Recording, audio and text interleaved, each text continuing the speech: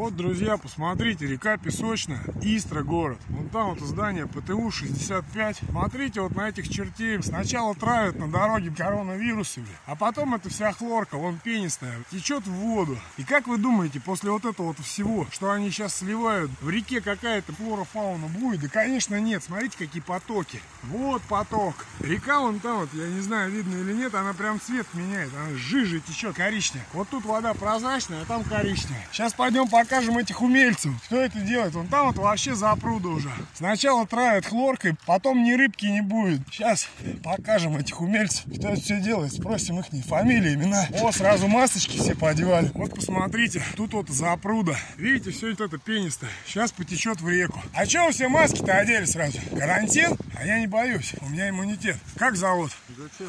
Надо. Как зовут? Вот это вот прораб, который вот эту всю жижу сливает в реку. Вот они работяги. Вот это все откуда течет. Это канализация, канализационные воды. Вот тут вот спецтехника стоит. О, видите как? Сидите дома, а мы засрем вашу природу. Вот там вот стоит ответственное лицо наверняка.